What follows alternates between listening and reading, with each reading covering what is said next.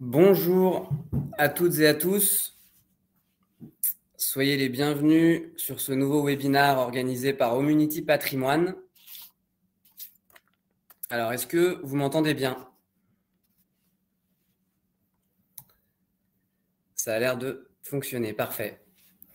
Donc, euh, je suis Romain Naudin, directeur du pôle immobilier neuf chez Omunity Patrimoine, et euh, je vais euh, co-animer cette, cette, présentation aujourd'hui avec Eudes Blin, directeur adjoint, qui nous rejoindra d'ici quelques minutes.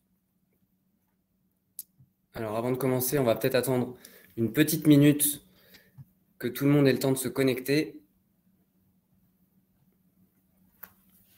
Alors j'en profite pour vous dire que comme d'habitude, vous avez le petit onglet de chat euh, sur le côté de l'écran euh, sur lequel vous pouvez échanger ensemble.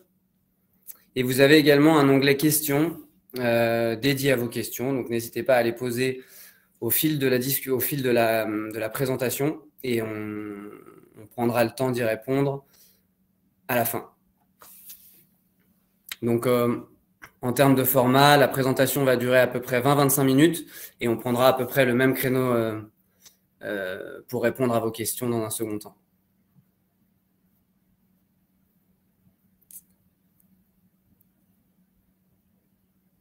Alors, je vais essayer de vous partager mon écran.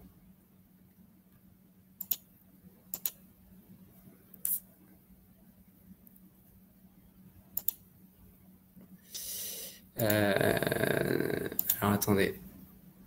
Hop. Ok.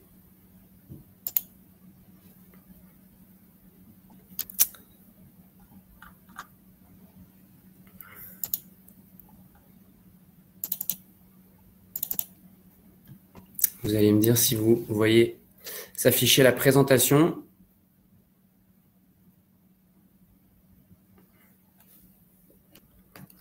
suis désolé, ça prend un petit peu de temps.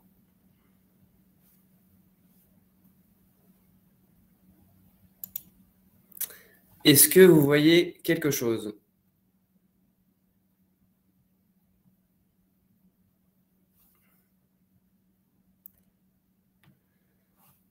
Impeccable. Donc aujourd'hui, on va parler investissement locatif et plus particulièrement de la loi Pinel. Euh, donc voici le sommaire.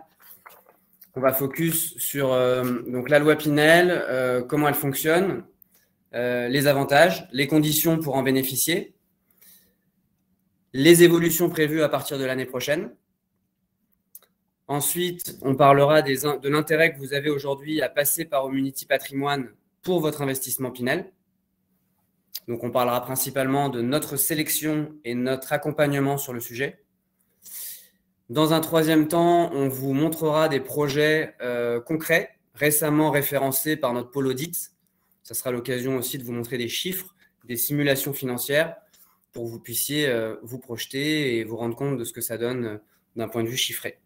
Et enfin, on fera un petit jeu de questions-réponses à la fin de la présentation. Alors, avant de, laisser la parole à Eudes pour l'explication de la loi Pinel en elle-même, euh, revenons d'abord sur l'intérêt aujourd'hui d'investir dans l'immobilier locatif d'une manière, manière, générale. Euh, investir en locatif aujourd'hui, c'est euh, tout d'abord se constituer un patrimoine sur le long terme en utilisant le levier de la dette. Aujourd'hui, on accompagne nos investisseurs particuliers sur des, prêts allant jusqu'à 25 ans régulièrement et souvent sans apport. Sans apport du tout ou avec euh, simplement l'apport des frais d'acquisition selon les profils. Donc tout ça dans le double objectif de, euh, selon votre situation, selon ce que vous décidez, de générer un capital si le bien est, destiné à être vendu à terme, soit pour générer des compléments de revenus et euh, pourquoi pas préparer la retraite par exemple. Investir dans l'immobilier, c'est aussi protéger sa famille. c'est une bonne solution pour faire de la prévoyance, notamment au travers des, assurances liées au prêt immobilier, assurances décès invalidité, qui vous permettent d'assurer un patrimoine, un capital euh, en cas de décès ou d'accident de la vie à votre famille.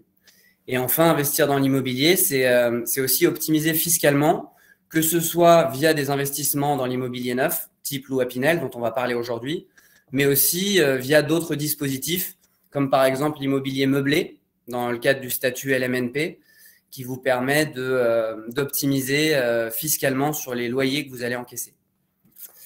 Pour parler plus particulièrement immobilier neuf, plusieurs avantages aujourd'hui à investir dans le neuf. évidemment, profiter de défiscalisation donc, on va le voir aujourd'hui principalement euh, au travers de la loi Pinel. Euh, investir dans le neuf, c'est aussi euh, profiter d'une garantie décennale offerte par le promoteur qui vous assure le fait de ne pas payer, de ne pas avoir à supporter de gros travaux pendant une durée de 10 ans, de type ravalement de façade, toiture, etc. Vous avez la possibilité de personnaliser votre bien au fur et à mesure de la construction. Donc, vous êtes à chaque étape de la construction consulté par le promoteur euh, pour donner votre avis sur des couleurs, des matériaux. Et, euh, point qui n'est pas mentionné ici, mais qui reste très important, investir dans le neuf, c'est aussi bénéficier de toutes les nouvelles normes écologiques, environnementales, euh, et investir sur des biens qui consomment aujourd'hui entre 3 et 4 fois moins que la moyenne des logements sur le marché de l'ancien. Eudes, je te laisse la parole pour euh, la partie euh, loi Pinel. Bonjour à tous, merci Romain. On est actuellement un peu plus de 150 à suivre euh, ce webinaire organisé par Community Patrimoine. L'objectif étant de vous expliquer les conditions à respecter pour être éligible au statut Pinel, à la loi Pinel plus exactement, et également les avantages euh, pour vous en tant que client investisseur. Aujourd'hui, euh, les conditions à respecter, donc il faut être résident fiscal français, euh, acheter un bien neuf sur une zone éligible à la loi Pinel, le détenir à minima pendant six ans et respecter des conditions de revenus pour le locataire. Ce sont les obligations. Pour vous donner un ordre d'exemple sur les conditions de revenus, pour une personne seule, on est aux alentours des 38 000 euros. 38 000 euros qui aujourd'hui euh, réalise un salaire net de 3 000 euros et euh, peut tout à fait euh, s'entendre sur la moyenne nationale des locataires actuellement en place. Comment ça se passe? Vous acquisissez le bien sur une zone, c'est découpé en trois parties, la zone A, A bis et B1, qui vont vous permettre d'avoir des loyers planchers à respecter qui va créer l'attractivité de votre bien lors de sa mise en location.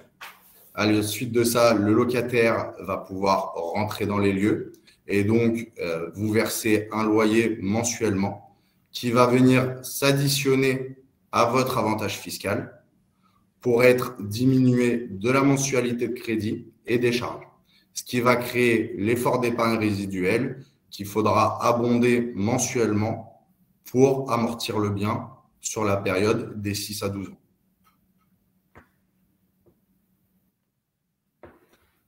Concrètement, aujourd'hui, la loi Pinel vous permet d'amortir fiscalement 2% du montant de votre bien. C'est-à-dire que sur la période, euh, si on prend un exemple d'un bien de 300 000 euros, vous allez pouvoir euh, déduire directement 6 000 euros de votre masse d'imposition. Cela répété sur les six premières années, qu'on va pouvoir proroger six ans supplémentaires au même taux. Et pour les trois dernières années, ce sera un avantage fiscal de 1% de la valeur du bien. Bien évidemment, tout ceci doit rentrer dans l'enveloppe des niches fiscales plafonnées à 10 000 euros par an actuellement. C'est la dernière année où on va pouvoir profiter de ce niveau euh, de, de réduction fiscale puisque Romain va vous l'expliquer, dès 2023, les conditions du Pinel vont être modifiées lors de la rédaction de la nouvelle loi fiscale. Merci Eudes. Euh, effectivement, les, les, conditions actuelles du Pinel concerneront les investissements qui passeront chez le notaire d'ici le 31-12-2022. À partir du 1er janvier 2023, les conditions de réduction d'impôt sont revues à la baisse donc, vous voyez sur le tableau de gauche qu'à partir de 2023, on passera de 12% à 10,5% de réduction d'impôt sur 6 ans. On passera de 18 à 15 sur 9 ans et de 21% à 17,5% sur 12 ans. cette, cette dégradation des, conditions va s'accentuer en, en, 2024, sauf si vous bénéficiez du Pinel Plus, qui est prévu à partir de l'année prochaine, euh, qui est ni plus ni moins un, maintien des, conditions de réduction d'impôt actuelles, seulement pour les, euh, les investissements qui respecteront un certain nombre de critères, à commencer par le fait de respecter la nouvelle réglementation énergétique RE 2020. Donc, ce sera obligatoire à partir de l'année prochaine pour pouvoir maintenir les conditions Pinel actuelles. Et euh, au-delà de cette réglementation, euh, l'appartement, les appartements devront respecter euh, un certain nombre de critères, notamment une surface minimale par, typologie. systématiquement, on, on, devra systématiquement pouvoir proposer un espace extérieur privatif, balcon, terrasse, jardin. alors, ce n'est pas indiqué ici, mais il y a d'autres contraintes, que ce soit en termes de hauteur sous plafond, il y a un minimum requis, euh, les trois pièces devront euh, forcément être traversants. Euh, qu'est-ce qui. Il y a un petit... ok, c'est bon. donc tout ça va avoir pour conséquence forcément des biens Pinel, des biens éligibles Pinel qui seront plus rares et, des prix qui, qui, vont, qui vont être revus à la hausse d'ici l'année prochaine. Alors, pourquoi vous avez intérêt aujourd'hui à passer par Community euh, Patrimoine pour votre investissement Pinel? Il y a plusieurs raisons. Euh, il y en a trois principales. La première, c'est le choix qu'on peut aujourd'hui vous offrir. On est en relation avec plus d'une centaine de partenaires promoteurs répartis partout en France, euh, que ce soit des gros promoteurs nationaux avec lesquels on travaille exclusivement sur la partie commercialisation, vente de l'eau neuf, ou de plus petits interlocuteurs, plus régionaux, euh, avec lesquels on travaille, on travaillait déjà euh, parfois sur la partie crowdfunding et euh, avec qui on, a développé nos partenariats sur la partie, sur la partie commercialisation. Donc, ça nous permet d'avoir accès à un large choix sur toute la France métropolitaine et surtout de pouvoir vous conseiller de manière totalement objective sans, sans être lié à un promoteur en particulier euh, sans avoir un intérêt à vous proposer euh, un projet plutôt qu'un autre. Nous, notre but, via notre pôle audit, c'est de vous proposer les projets les plus pertinents à un instant T sur le territoire national. Donc, euh, en fonction d'un cahier des charges bien précis et d'une sélection bien précise.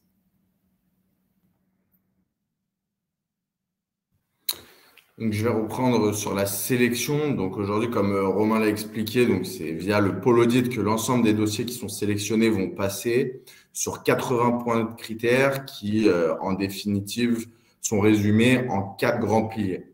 Le promoteur en tant que tel, sa qualité euh, à la fois financière et sa qualité de construction, la localisation du bien dans la ville ou en périphérie et sa pertinence, la qualité du projet en tant que tel. On ne construira pas euh, d'immeubles sur sept niveaux dans une zone pavillonnaire. Donc, on a besoin aussi de, rentrer sur tous ces points de détail pour bien comprendre euh, quelle a été la volonté du promoteur de construire à cet endroit très précisément. Et on finira par le niveau de rentabilité euh, qui va permettre à nos clients investisseurs d'avoir le moins d'efforts d'épargne possible, comme on a pu le voir précédemment. Euh, j'ajoute sur la qualité du projet. Euh, on va essayer de référencer euh, d'une part les, petits projets à taille humaine. On va essayer de valider systématiquement dans ces, dans ces projets une mixité entre investisseurs et des personnes qui achètent leur résidence principale. ça, c'est important pour deux raisons. La première, c'est que les parties communes sont généralement mieux tenues quand vous avez des, propriétaires occupants dans l'immeuble. Et euh, ça permet d'éviter que euh, tout le monde revende en même temps euh, si tout le monde est en même temps sur un dispositif Pinel. Tous ces, points, alors c'est vraiment résumé de manière très succincte. Comme disait Eudes, on a plus de 80, de 80 critères. Si on parle de la localisation, ça va jusqu'au fait de, de ne pas être trop proche d'une voie ferrée, d'un quartier sensible, d'une déchetterie, de ne pas être trop sous un couloir aérien. En fait, on va vraiment valider tous les points un à un qui pourraient nuire à une mise en location facile du bien.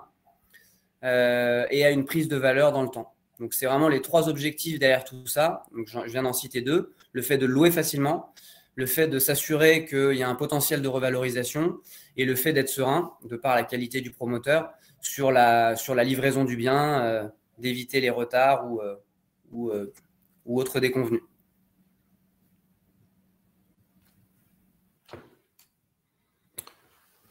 Au niveau de notre accompagnement, donc on va vous accompagner à la fois sur la sélection du bien, comme on vient de l'expliquer. On vous accompagnera également dans le financement afin d'obtenir euh, les meilleurs taux, que ce soit au niveau des assurances ou du crédit en tant que tel.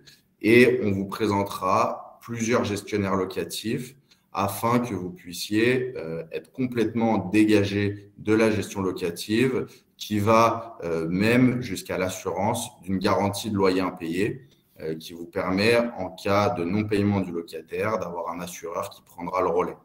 Euh, tout ça euh, avec la volonté de vous dégager du temps et que cet investissement ne soit pas énergivore pour vous, mais plutôt que ce soit un gain de temps et un gain d'argent.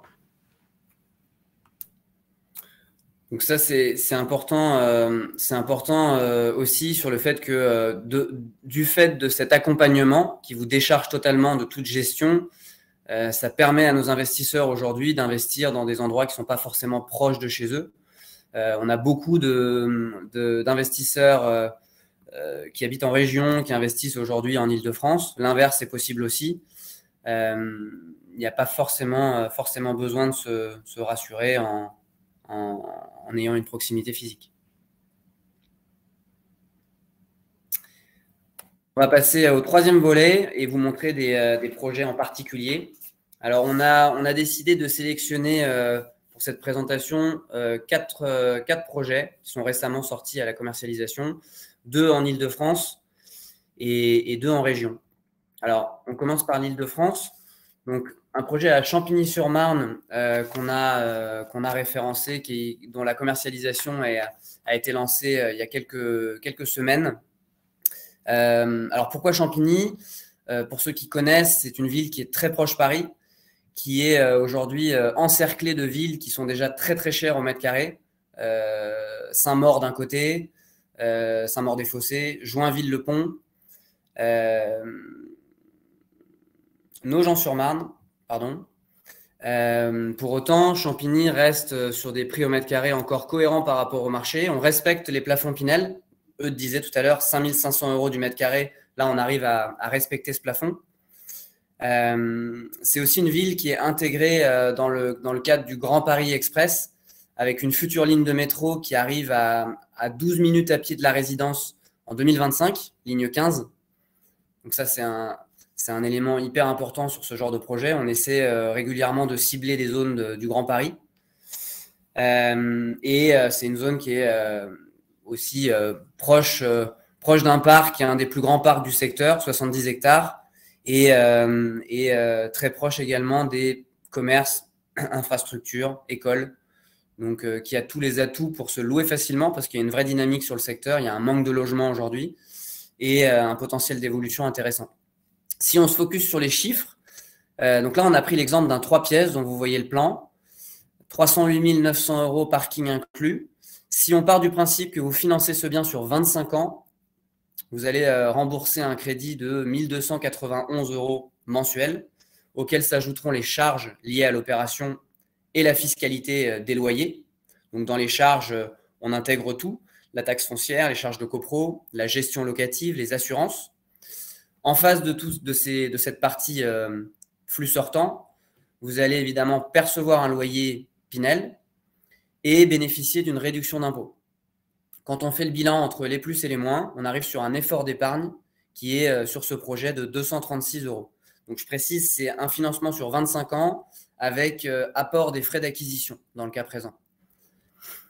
Donc pour que ce soit bien clair pour vous, 236 euros par mois en moyenne, sur 9 ans, en incluant les frais d'acquisition, on arrive à 37 250 euros. Donc, c'est un projet qui, euh, vous fait sortir 37 250 euros de, trésor euh, sur 9 ans. Si on considère une revente du bien au bout de 9 ans au prix d'achat, donc sans, euh, sans partir sur aucune plus-value, en restant très conservateur, Après remboursement du capital restant dû, au bout de 9 ans, vous récupérez un peu plus de 100 000 euros pour 37 000 euros investis. Donc c'est là où on voit tout l'avantage de ce dispositif et la pertinence de tous les effets de levier. Un bien finalement qui vous coûte peu tous les mois parce qu'il y a une grosse partie qui est financée par votre locataire, par vos impôts. Et euh, ces effets de levier vous permettent de, bah, récupérer la totalité à, l'issue de, de l'avantage fiscal. Et donc du coup d'être sur des rendements très importants.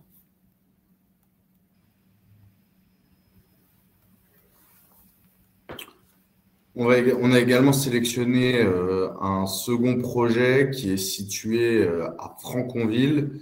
Franconville euh, qui devrait bénéficier à moyen terme de l'allongement de la ligne 3 de métro parisien.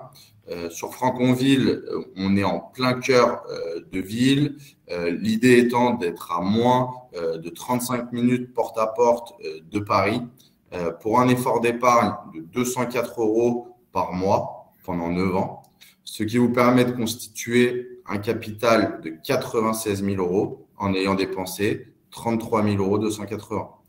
Ce qui fait qu'avec un moindre effort d'épargne qu'à Champigny, 20 euros de moins, euh, on arrive euh, à créer une valeur capitalistique pour votre patrimoine quand même considérable.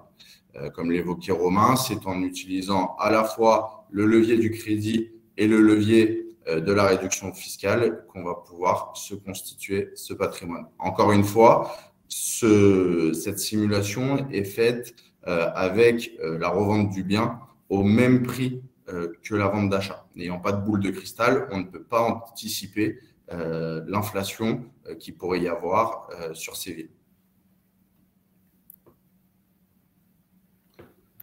Te laisse présenter euh, les projets en région, On passe sur la région, euh, donc euh, avec un projet à Reims. alors Reims, c'est typiquement le, genre de ville qu'on va sélectionner aujourd'hui. On évite de plus en plus le top 5 des villes de France. On allait régulièrement sur de la défiscalisation dans les années passées dans des villes comme Bordeaux, Lyon, Nantes, euh, aujourd'hui, euh, on va plutôt euh, cibler des villes un peu plus petites où on conserve une meilleure rentabilité, des prix qui sont encore cohérents par rapport au plafond Pinel notamment. Reims a le, deuxième avantage, au-delà de, ces prix encore cohérents, d'être à proximité de Paris. On est à 45 minutes de Paris à, peu près en, en, TGV.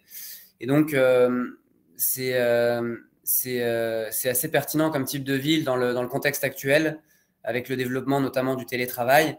Aujourd'hui, on observe une, une, croissance démographique intéressante euh, dans les villes euh, à une heure, une heure de Paris, puisque en envisageant une à deux journées de télétravail par semaine, on peut tout à fait aujourd'hui considérer habiter Reims tout en travaillant par exemple en Ile-de-France. Au-delà de ça, sur ce projet en particulier, donc là on est sur un projet très central on est à 600 mètres euh, de l'hypercentre euh, rénois. On est à 800 mètres euh, de, la basilique de Reims, qui, est vraiment, vraiment hyper centrale. en termes de transport, on est à 15 minutes à pied du TGV, au pied du tram, station Comédie, qui rejoint le centre-ville très rapidement. et bah, cette centralité nous, met de fait très proche des commerces, des infrastructures, euh, et d'un parc aussi, euh, un grand parc qui est, euh, qui est à proximité. C'est assez particulier cette résidence puisqu'on la connaît déjà. On a déjà commercialisé la première tranche fin 2021 qui a été un, succès commercial et, notamment, et notamment à Reims. Il y a beaucoup de, de Rénois qui ont investi sur ce projet en résidence principale et aussi en locatif. Et la deuxième tranche de commercialisation devrait être lancée deuxième quinzaine de mars. Donc, euh, donc ça peut être une, bonne opportunité. Ici, vous voyez l'exemple d'un deux pièces, 182 000 euros, euh, pour un effort d'épargne de 118 euros par mois, ce qui donne un, effort d'épargne global d'un peu plus de 20 000 euros sur 9 ans et 60 euh, 000 euros de capital constitué à terme. Encore une fois, sans plus-value. Et pour finir, donc un projet euh, sur euh, Saint-André-les-Îles, euh, situé à proximité du quartier de la Madeleine, projet à taille humaine en R plus 3 qui fait l'objet d'une construction d'une vingtaine de lots pour un effort d'épargne de 163 euros qui nous donne donc du coup une épargne totale sur 9 ans de 26 000 euros et un capital constitué de 71 000 euros. Euh, sur ce projet, la qualité de construction est euh, vraiment euh, de très haute gamme. C'est un acteur que l'on accompagne historiquement sur le financement participatif et qui aujourd'hui nous permet d'avoir une sélection exhaustive pour nos clients. ces lots vont donc du T1 au T4 et là on a pris l'exemple donc d'un T2 euh, qui permet déjà d'avoir des espaces extérieurs très demandés euh, depuis Covid. On va peut-être passer du coup euh, aux questions. Je précise, juste une chose, merci Eudes. simplement, là, on vous montre quatre projets. évidemment, liste absolument pas exhaustive. On a pas mal d'autres projets qui peuvent être qui être intéressants, que ce soit en Île-de-France ou en province. si vous êtes si vous êtes intéressé pour, euh, pour, creuser le sujet, en savoir plus et surtout personnaliser le sujet en fonction de votre situation, n'hésitez pas à nous contacter pour que euh, on puisse vous faire des simulations personnalisées euh, et qu'on puisse vous parler potentiellement de tous les autres projets qu'on a référencés récemment. On a une question pour commencer d'Alionor qui nous demande si nous nous occupons de la gestion locative laisse euh, répondre. Alors euh, oui, comme on le disait tout à l'heure, euh, la, gestion locative donc fait partie des choses dont on s'occupe. c'est pas internalisé. On a des partenaires qui s'occupent de ça, qui sont présents dans toutes les villes dans lesquelles on travaille et qui vont s'occuper pour vous de sélectionner les locataires, de faire les états des lieux, les dépôts de garantie, les réunions de copro, la gestion du syndic. L'idée est de vous décharger totalement de cette gestion c'est d'ailleurs des coûts qu'on intègre dans les simulations financières et, dans les efforts d'épargne qu'on vous a présentés tout à l'heure. C'est une, euh, une, charge qui est, déjà, euh, qui est déjà intégrée. Seconde question de Pierre qui nous demande comment Omnity Patrimoine se rémunère. Alors c'est très simple, on est rémunéré en tant qu'apporteur d'affaires aujourd'hui, donc c'est les promoteurs qui vont renier sur leur marche pour nous rémunérer en tant que commercialisateurs. Euh, ce qui fait que euh, nous ne sommes pas rémunérés par euh, nos investisseurs. Que vous passiez sur un programme donné en direct avec le promoteur ou par nous, vous, vous, paierez votre, bien au centime près la même chose, si ce n'est que en passant par nous, vous bénéficiez évidemment de tout ce dont on vient de parler, tout l'accompagnement clé en main. On a également une question d'Adil qui euh, nous demande si on peut euh, obtenir un cash flow positif sur une opération Pinel. Je peux y répondre très simplement. Euh, bah, c'est compliqué à obtenir. Par contre, on peut s'y rapprocher. la variable d'ajustement va se trouver au niveau de l'apport au démarrage de votre investissement. Euh, c'est vrai que nous, on, cherche plutôt à minimiser l'apport. Euh, maintenant, il est possible euh, d'arriver à un cash flow positif si l'apport est plus conséquent. apport qui sera retrouvé au moment de la vente du bien. Euh, sans aucun euh, problème. Par contre, euh, on va être en règle générale sur des tranches entre 50 et 250 euros d'effort d'épargne en fonction de la localisation du bien et de son prix au mètre carré. Comme disait Eudes, il n'y a pas forcément d'intérêt à mettre de l'apport aujourd'hui. autant utiliser le levier de la dette. Plus on, plus on l'utilise, moins on met d'apport, plus on est rentable sur les opérations. Donc la seule, la seule euh, le seul intérêt qu'on aurait à mettre de l'apport serait de faire passer plus facilement un bien au financement, si on est un petit peu limite, euh, et, euh, de, fait diminuer l'effort d'épargne. Complètement.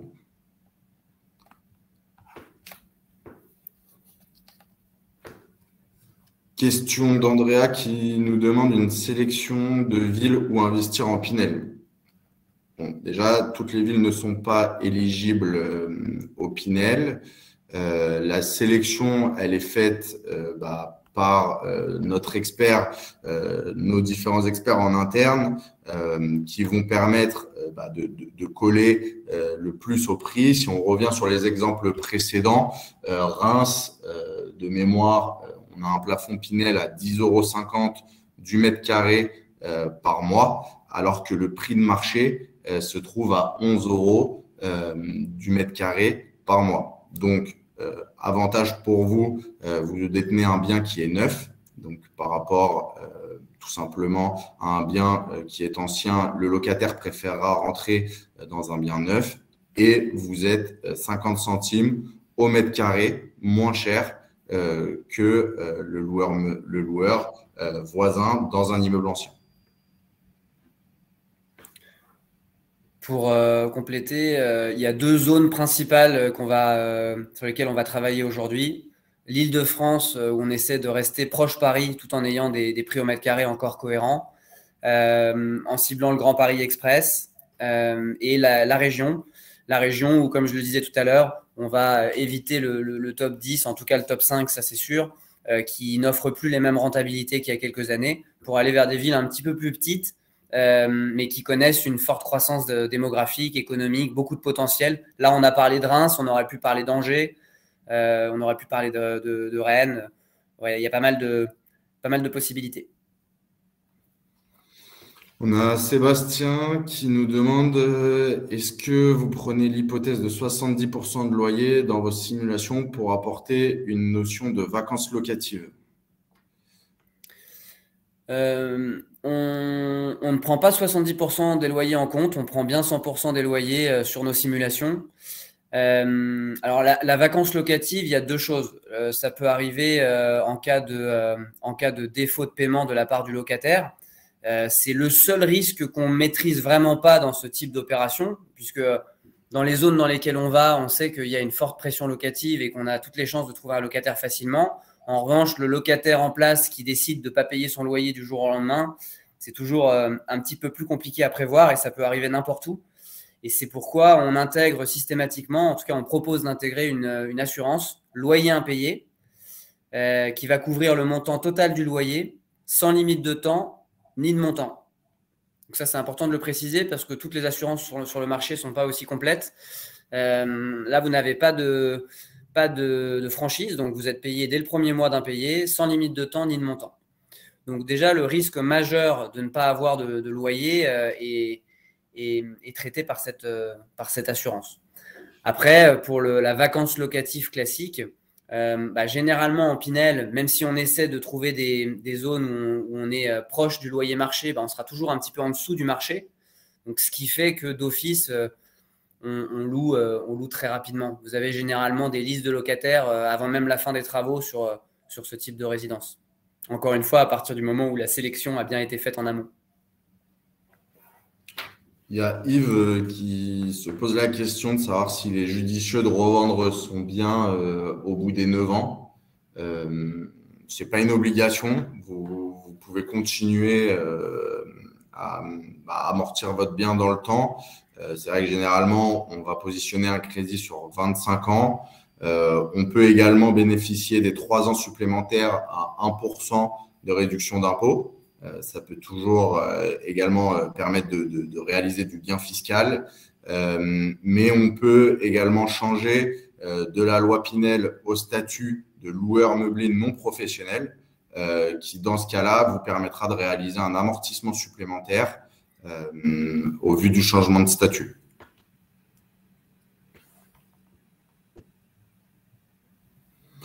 Euh, faut-il obligatoirement un crédit amortissable? C'est ce qui se fait euh, le, plus souvent. Euh, après, on peut envisager d'autres types de montages en fonction des situations de chacun. on peut faire de l'infine. on, peut, on peut adapter, et ça, c'est le travail de nos partenaires courtiers qui sont là pour trouver les solutions les plus adaptées à votre situation. J'ai une question de Sébastien qui se demande quel est le coût de l'assurance loyer impayé? Alors, l'assurance loyer impayé, euh, on la provisionne à 3% dans la simulation. Euh, pour revenir sur les charges d'une manière générale, on va provisionner 3% pour l'assurance, 6% euh, pour la gestion locative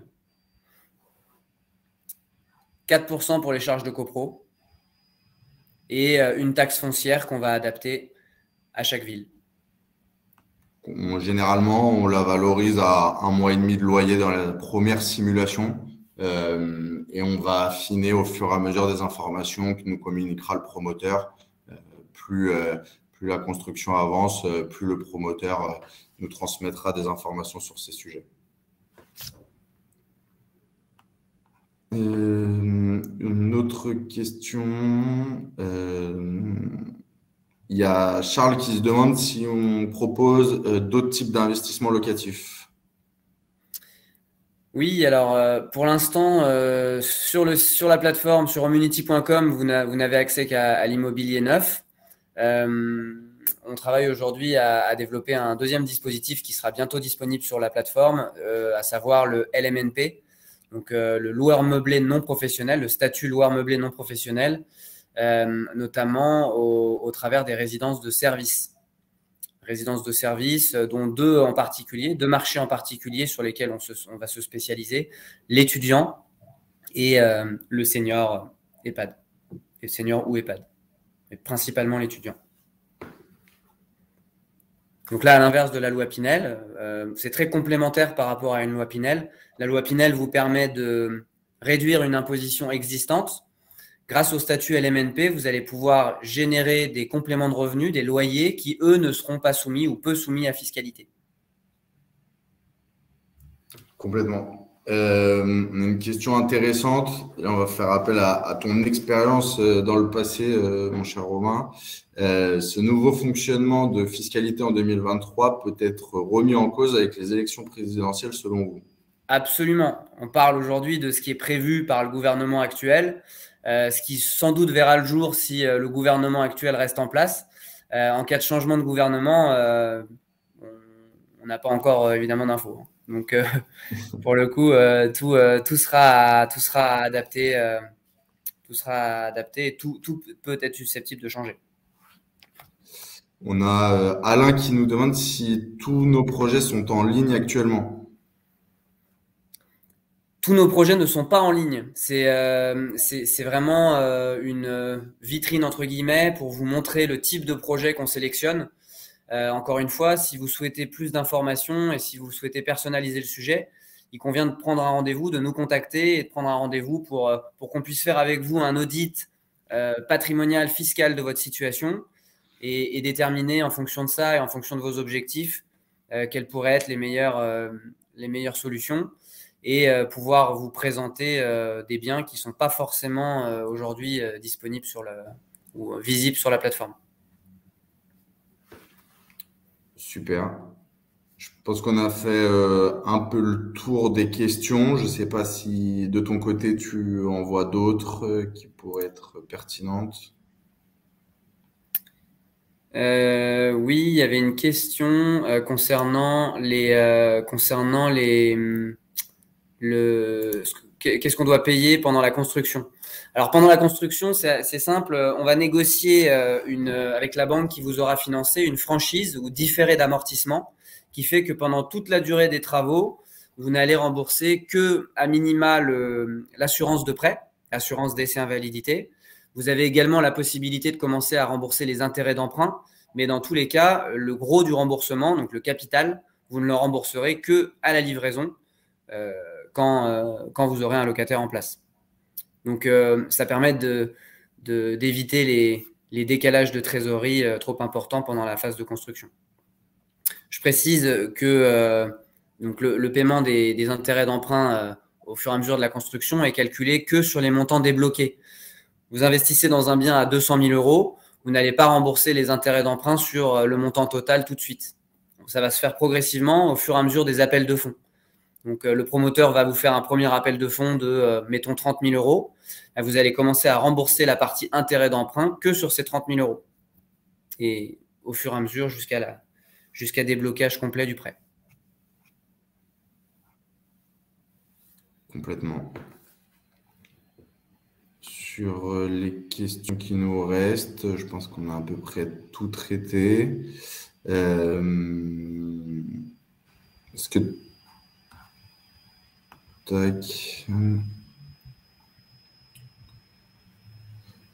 Bah, merci en tout cas à tout le monde pour votre participation à, ce, à cette présentation.